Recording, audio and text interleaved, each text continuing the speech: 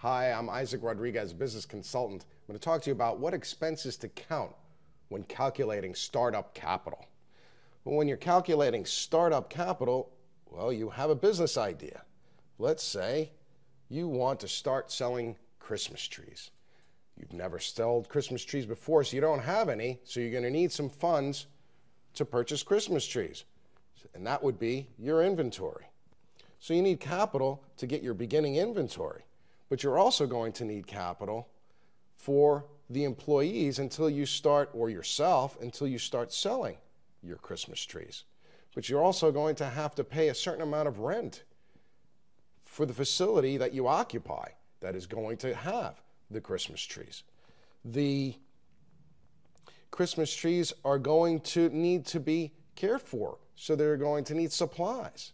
And you're going to need to calculate and all these startup expenses when you're embarking on your new Christmas tree business. There are many, many other things to consider, and I encourage you to think about all the things that you will need for at least six to 12 months so that you have enough capital to run your new Christmas tree business. The Christmas trees are going to cost money for the inventory. You're going to have to sustain your employees to sell those trees. You're going to have to pay rent.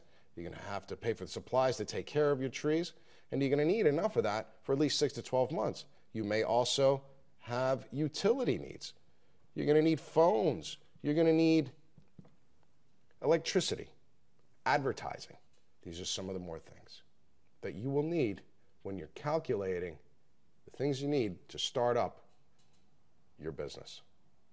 I'm Isaac Rodriguez, a business consultant.